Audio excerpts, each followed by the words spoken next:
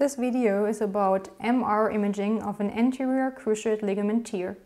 The anterior cruciate ligament, cruciate ligament, or ACL, runs from the posterolateral part of the intercondylar notch anteromedially to the anterior intercondylar area of the tibia.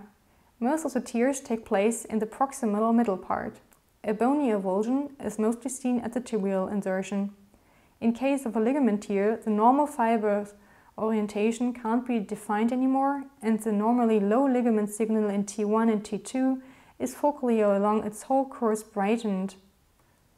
Here you see the PD weighted image where you see the very bright signal in the course of the anterior cruciate ligament.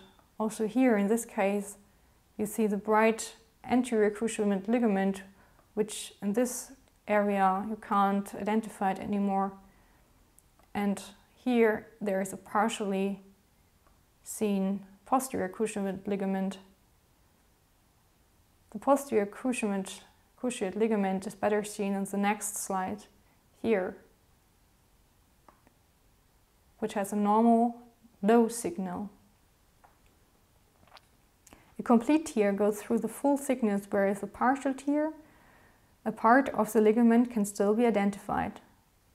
Normally, the ACL runs straight parallel to the Blumensaat line, which corresponds to the root of the intercondylar notch. Indirect signs of a ligament tear are rounded, sagged, or amorphous ligament. Often you find associated bone contusion of the posterolateral tibial plateau and the lateral femoral condylus. In avulsion of the lateral capsule at the lateral tibial plateau, the so-called Segond fracture, almost 100% associated with the ACL tear and can already be seen on a radiograph. Another radiographically detectable sign for an ACL tear is a drawer sign, which is the anterior displacement of the tibia relative to the femur. Isolated ACL tears are an exception, so that you should always have an eye on further injuries like meniscal tears.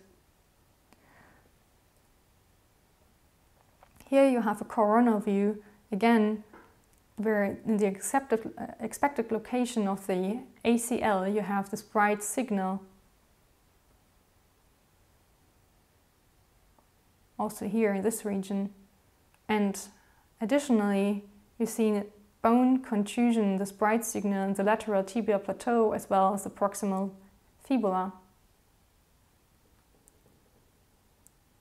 The differ differential diagnosis of a signal-intensified ACL is mucinous degeneration and ganglion formation.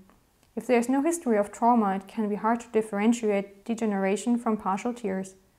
In case of chronic tear, you won't be able to identify any ligamentous structure but fatty replacement instead, which is called the empty notch sign. The treatment is conservative for stable partial tears as well as elderly or inactive patients. The surgical repair is usually done with avulsion or by using an auto-allo or synthetic graft.